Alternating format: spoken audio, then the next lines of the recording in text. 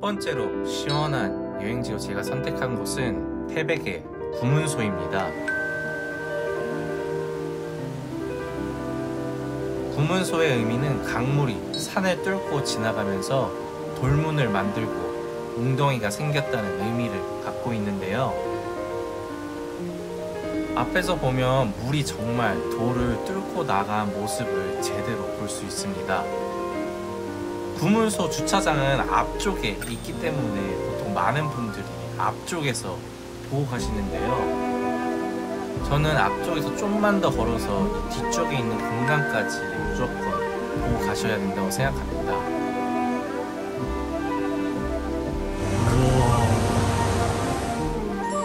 뒤쪽으로 오면 시원하게 떨어지는 물들을 볼 수 있고 또 산까지 어우러져서 정말 프레시한 풍경을 느낄 수가 있는데요. 제가 갔을 때는 비가 온 뒤 며칠 뒤라서 정말 물이 떨어지는 모습이 너무나 시원했고 또 그 광경이 너무나 아름다웠습니다.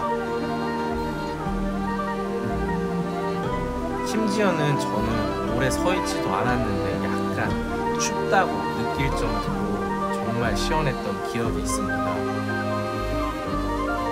그리고 이 뒤쪽에는 이 주변을 걸을 수 있는 데크길들도 잘 마련되어 있기 때문에 이 주변의 프레시한 공기들도 즐길 수가 있는 것이 또 하나의 장점이고요. 더운 여름 시원함을 느낄 수 있는 첫 번째 여행지로 저는 바로 태백의 구문소를 한번 여러분들께 추천해 보겠습니다. 두 번째로 시원함을 느낄 수 있는 여행지는 저는 충주의 수주팔봉을 추천하겠습니다. 수주팔봉도 역시 제가 비 온 뒤 며칠 뒤에 방문해서인지 정말 시원한 모습을 보여주고 있었는데요. 특히 주변 풍경과 어우러지는 모습들이 너무나도 아름다웠던 곳입니다. 수주팔봉은 계단을 따라서 올라갈 수가 있는데요. 출렁다리 위에서 떨어지는 폭포의 시원함을 보니까 더웠던 더위가 싹 달아나고 약간의 스릴감까지 있어서 훨씬 더 저는 시원했던 것 같습니다. 저는 걷는 거를 많이 좋아하지 않으시는 분들은 여기 출렁다리까지 올라가셔서 수주팔봉을 즐기시는 거를 추천하고요. 개인적으로 저는 수주팔봉을 한번 올라가 봤습니다. 그런데 걸어 올라가는 길은 경사가 조금 있었고요. 비가 온 지 며칠 안 돼서 그런지 길이 조금 미끄러웠던 기억이 있습니다. 이 풍경 포인트에서 보는 충주의 모습도 좀 아름다웠던 기억이 있습니다.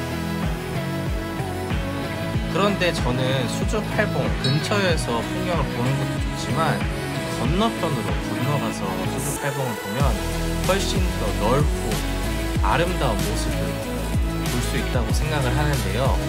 그래서 가까이서 즐기시고 건너편까지 넘어가셔서 수주 팔봉을 한 번 더 즐기면 좋을 것 같습니다. 세 번째는 부안의 변산반도 국립공원 안에 있는 직소 폭포입니다. 변산반도 국립공원은 정말 아름다운 풍경을 볼 수 있는 여행지로 유명한데요. 저는 국립공원의 협조를 받아서 국립공원 안에 드론 촬영을 진행하였습니다. 직소 폭포까지 가는 길은 제 생각엔 한 20분에서 30분 정도 걸렸던 것 같아요.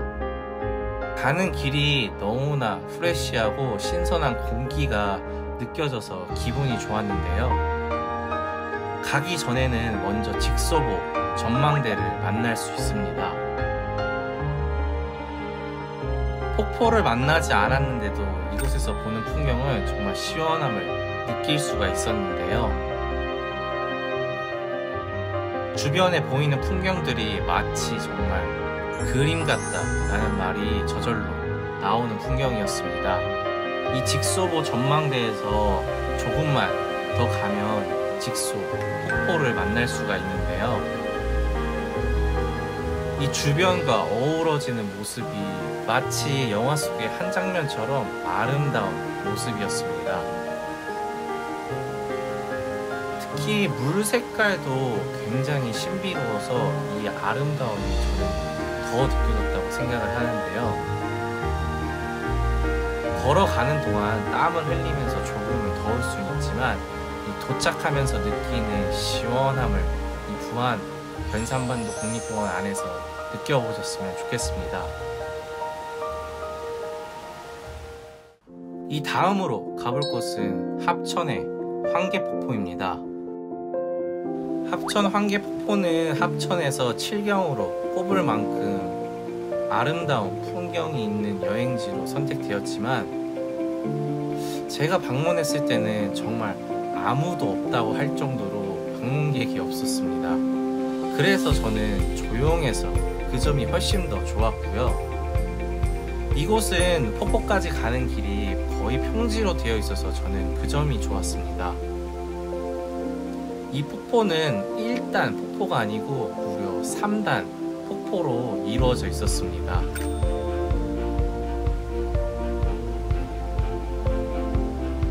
그리고 폭포 가까이까지 올라가 볼 수가 있어서 저는 그 시원함을 더욱 가까이서 느낄 수 있어서 좋았는데요.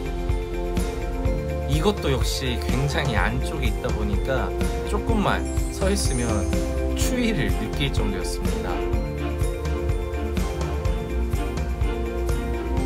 제가 한여름에 가보진 않아서 방문객이 얼마나 되는지는 정확히 모르겠지만 정말 저는 조용했던 점이 매력적이었던 황계 폭포였고요. 아마 많은 분들이 모르시는 숨겨진 여행지가 아닐까 그렇게 생각합니다.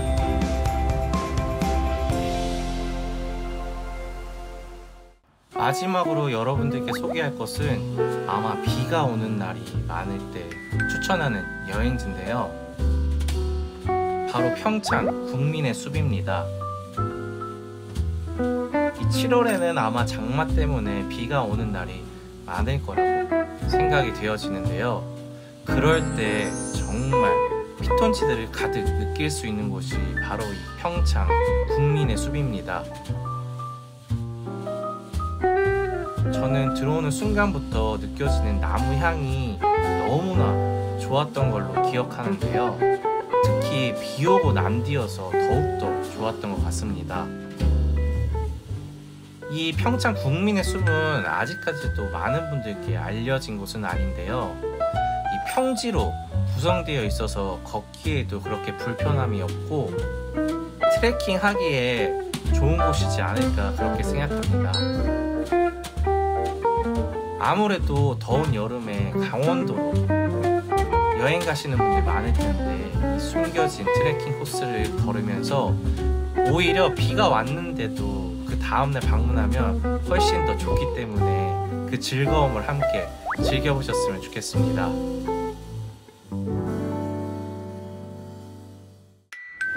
이제 본격적인 폭염이 시작되는데요.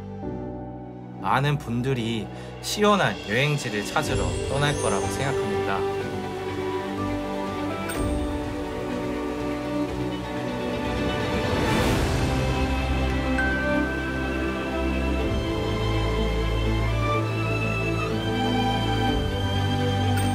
더운 여름에 조금이나마 여러분들이 시원하게 보냈으면 해서 이번 여행지들을 추천해 봤는데요. 어떠셨는지 모르겠네요. 그럼 저는 또 더 좋은 여행지로 여러분들께 찾아오겠습니다. 다음에 만나요. 안녕.